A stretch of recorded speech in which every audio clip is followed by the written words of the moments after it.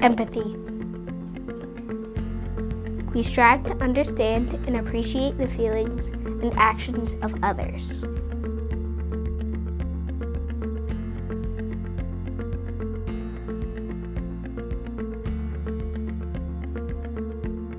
Empathy means to put yourself in other people's shoes.